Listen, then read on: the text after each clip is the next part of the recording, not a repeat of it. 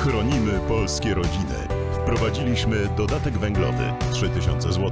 Dodatek na pelet lub inny rodzaj biomasy 3000 zł. Dodatek na gaz LPG 500 zł. Dodatek na olej opałowy 2000 zł. Dodatek na drewno kawałkowe 1000 zł.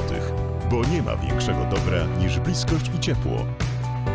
Rządowa tarcza energetyczna. Dowiedz się więcej na gov.pl ukośnik chronimy rodziny.